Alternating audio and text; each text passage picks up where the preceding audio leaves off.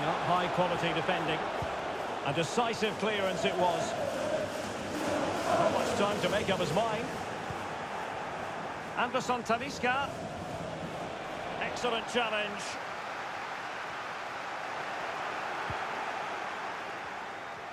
Can he finish? A goal! They're absolutely racing away with this. Three to the good now.